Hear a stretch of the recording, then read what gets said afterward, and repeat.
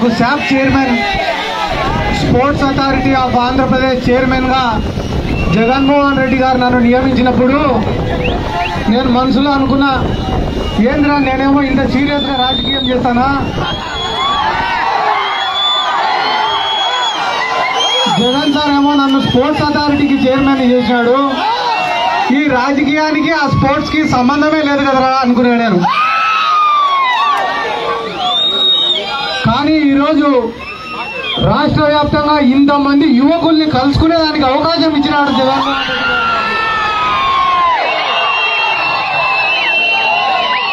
ఒక ఆరు నెలలు ఒక సంవత్సరం రోజుల కింద వరకు ఏదైనా ఒక నియోజకవర్గానికి పోతే నేను అక్కడక్కడ నా బ్యానర్లు కనిపించేటివి.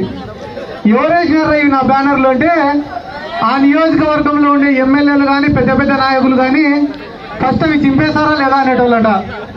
కానీ ఈరోజు ఇన్ని నియోజకవర్గాలలో ఇంతమంది ఎమ్మెల్యేలు ఇంతమంది పెద్ద పెద్ద నాయకులు నా బ్యానర్లు కట్టి ఇంత గౌరవం ఇచ్చి ఇంత హోదా ఇచ్చి ఇంత ప్రేమగా పిలుస్తుంటే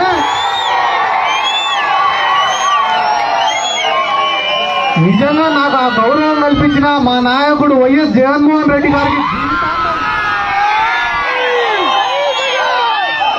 ఒక యువకునికి ఒక పిల్లోనికి నాకు గౌరవం కల్పించిన ఆయనకు నా జీవితాంతం రుణపడి ఈ సందర్భంగా నేను తెలియజేసుకుంటున్నాను.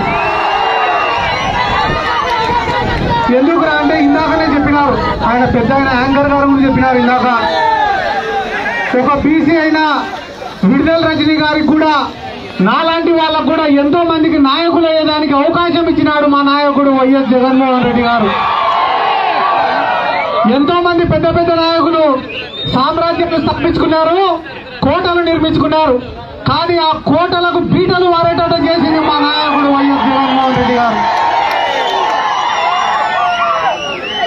ఏదో పొద్దున్నే మీడియా ముందుకు వచ్చి గట్టి గట్టిగా అరిస్తే జగన్మోహన్ రెడ్డి గారిని ఓడగొట్టచ్చు అనుకుంటున్నారు అందరు కూడా. ఈ రోజు రాష్ట్రంలో ఉండే ప్రతి కుటుంబం కూడా అన్న ఒక్క నిమిషం రెండు నిమిషం అన్న అన్న ఉండాలి నన్ను వదిలేను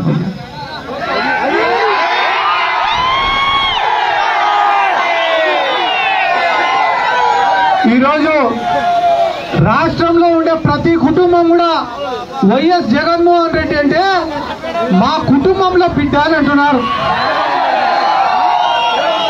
ప్రజలు ఆ రకంగా అనుకునే తర్వాత ఎవడో వచ్చి పీకేది ఇంకా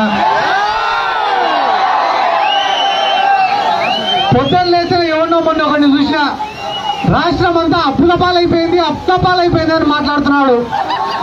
సంక్షేమ పథకాలు ఎందుకు రా అని మాట్లాడుతున్నాడు. కడుపు నిండినోడికి ఏం తెలుస్తుందన్న సంక్షేమ పథకాల విలువ? కడుపు కాళ్ళని పోయి అడగండి సంక్షేమ పథకం యొక్క విలువ ఏంటో చెప్తాడు. ఈ రోజు చిలకలూరిపేటకు వచ్చినా కాబట్టి మీకు అందరికీ చెప్తానా? మీలాంటి యువకులందరూ కూడా జగన్మోహన్ రెడ్డి గారి వెంట నడవాల్సినటువంటి అవసరం ఉంది ఈరోజు రాష్ట్రంలో.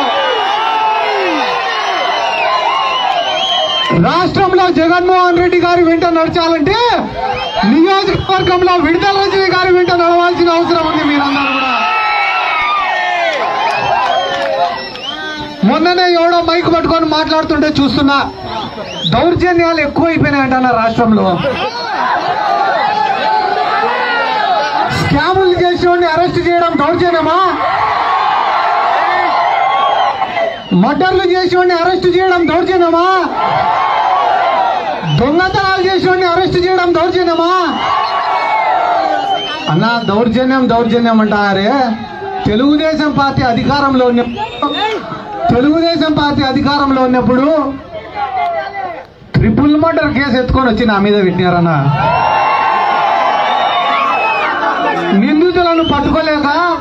మర్డర్లు చేసే వాళ్ళని పట్టుకోవడం చేతగాక ఏ సంబంధం లేని మా పైన బెయిలబుల్ సెక్షన్లు కాదన్నా మర్డర్ కేసులు పెట్టారన్నా. అరెస్ట్ చేసి అరెస్ట్ చేశారని మాట్లాడారు కానీ ఎందుకు అరెస్ట్ చేశారో మాత్రం చెప్పారంట. గిల్లింది కనపడి అరిసింది కనిపించిందంట.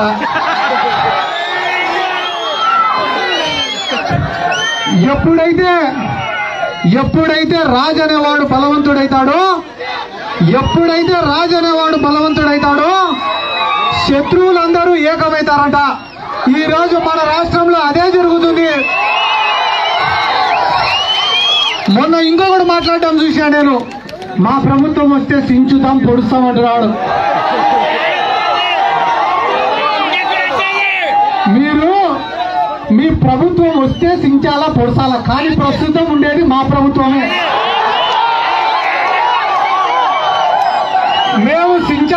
సించాలనుకున్నా పొడసాలనుకున్నా రెండు నిమిషాలే పని. కానీ కానీ మా నాయకుడు ఆ పందాలో ఆ పద్ధతిలో లేడు. మా నాయకుడిని చూసి మేము కూడా మా పంద మా పద్ధతి మార్చుకున్నాం. వీళ్ళందరూ ఏమనుకుంటున్నారు? వాళ్ళంటే జనాలు తిరగకపోయేటప్పటికీ రెండు మూడు ఘర్షణలు పెడితే రెండు మూడు కొట్లాటలు పెడితే రెచ్చగొట్టే మాటలు మాట్లాడితే మళ్ళీ కనీసం ఒక పది మంది మా ఇళ్ళ కాడ కాపలా కన్నా వస్తారని అనుకుంటారు. ఒరే నాయన మిమ్మల్ని మేమేమో చేసేది కాదురా. కుక్కలు నిడిచి పెడితే కుక్కలు కూడా కస్తాం మిమ్మల్ని.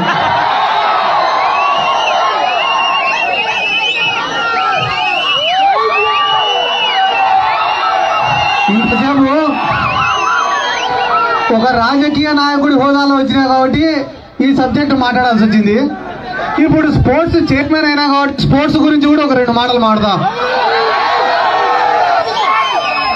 మా రజనిక మా రజనీక కానీ ఇందాక ఇంకా పెద్ద పెద్ద పదవులో హోదాలోనో మీరు ఉండాలని. వాళ్ళ గుండెల్లో స్థానం కన్నా పెద్ద హోదా నాకేం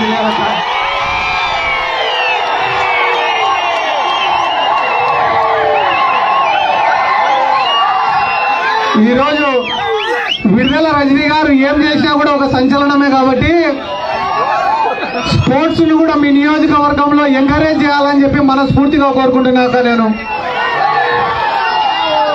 మీరు కూడా మన పార్టీలో పెద్దల్ని కలిసినప్పుడు ముఖ్యమంత్రి గారిని కలిసినప్పుడు స్పోర్ట్స్కు ఒక ఐదు వందల కోట్లు ఇమ్మనండి. ఎందుకంటే స్పోర్ట్స్కు ఒక ఐదు వందల కోట్లు ఇస్తే ఆరోగ్యశ్రీకి ఐదు వేల కోట్లు తగ్గించుకోవచ్చుగా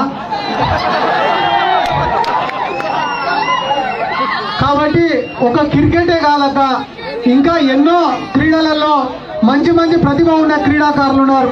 ఏమంటే వాళ్ళకు ఆడుకునేదానికి వసతులు లేక సరైన ఎంకరేజ్మెంట్ లేక గ్రామ స్థాయిలో వాళ్ళను ప్రోత్సహించే వాళ్ళు లేక ఇంకా అదే స్థాయిలో ఉండిపోయినారు.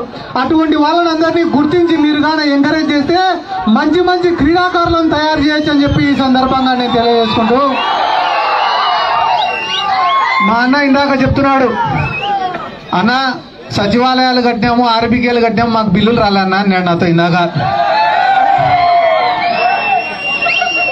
ఐదు రూపాయలు నష్టపోయినా కూడా ఐదు రూపాయలు నష్టపోయినా కూడా అభివృద్ధి చేయాలనే తపనతో ఒక మంచి పేరు తెచ్చుకోవాలనే తపనతో మీలాంటి వాళ్ళు చేస్తున్న పనులే ఈ రోజు మమ్మల్ని అందరినీ నిలబెడుతున్నాయన్న.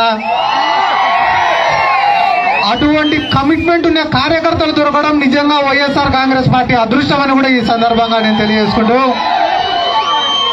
మాది కర్నూల్.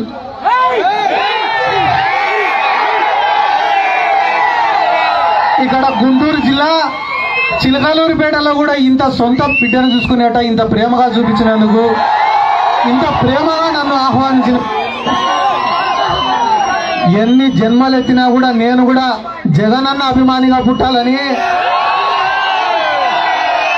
మీ అందరి ప్రేమ పొందాలని చెప్పి మరొకసారి తెలియజేసుకుంటూ ఇంత ప్రేమగా నన్ను ఆహ్వానించినందుకు రజనమ్మ గారికి కూడా ప్రత్యేక కృతజ్ఞతలు తెలుపుకుంటూ వేదిక మీద ఉన్న లీడర్లకి మున్సిపల్ చైర్మన్ గారికి మార్కెట్ యార్డ్ చైర్మన్ గారికి కౌన్సిలర్కి అందరికీ కూడా ప్రత్యేక ధన్యవాదాలు తెలియజేసుకుంటూ సెలవు తీసుకుంటున్నాను. జై జగన్!